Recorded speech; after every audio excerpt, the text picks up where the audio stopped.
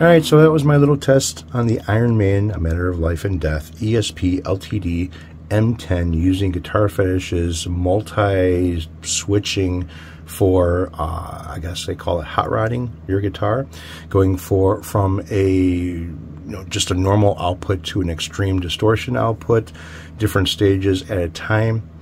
To me, it sounds pretty good. Um, but my playing cannot do this justice. Maybe somebody else's playing can do more justice to this than uh, I could do because of the fact that I've been working on these more than I've been actually playing them.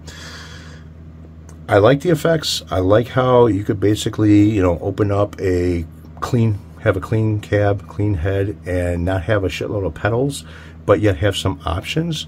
Um, I like how I can just set my computer up for with the interface and plug it in, bring up AmpliTube 5, and use whatever cab comes up without having to go into a list of shit and just use the switch on here to get whatever tone I'm looking for. Now, mind you, what I was using and what I was showing, uh, it was basically just a simple head, a little bit of reverb, there was a um, noise gate on there, but it wasn't turned up a lot. It was just kind of like, just barely.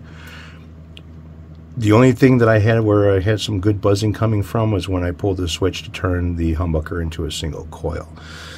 That's not really that big of a deal. But what is a big deal is I had to wire the guitar to the interface in order for this to work instead of using my Nux wireless system. This was giving me a pretty loud noise. I wouldn't call it feedback, but it was giving me a pretty good noise to where I was unable to use that.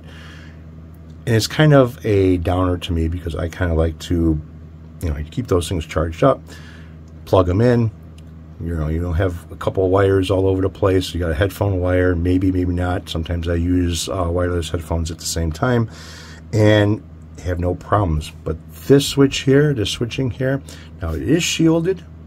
The cavity is shielded. Behind the pickup is shielded. This is not an active system. This is not an active pickup. It really shouldn't be giving me any type of a feedback. Now, maybe because I have the clear cover on the back and it's not completing a, um, a perfect shield around the electronics. Maybe that's the case. I don't know. I'm not going to take things apart and find out. But most of the time, everyone is wired and plugged into whatever they like to plug into and play that way. So, but to me, this is kind of a big letdown anybody who wants, or if I work on anybody's guitar and stuff, anybody who wants this circuit, I am going to let them know what it does if you go wireless, and uh, you know, let them know what it does when you remove the battery. When you remove the battery, this guitar is just a pass-through. There is no, uh, there is sound, it's just straight coming from the humbucker. You know, your volume and tone still work, but this switch is obsolete on all channels. So you won't have any control over, it's just a clean signal coming out of your guitar unless you're using some type of effects loop with your head or cab or whatever you're using to play with.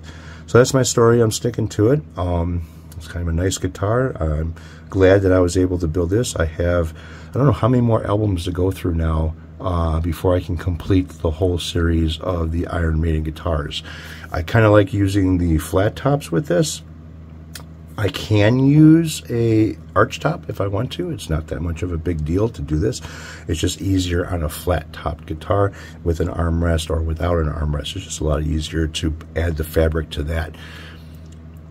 So I'm out of here. You guys have a good one. I hope you guys' weekend is uh, going really good and you guys got to get out and enjoy some of the uh, decent weather that we had today. It wasn't really that cold, but uh, it's supposed to get a little bit better in Illinois.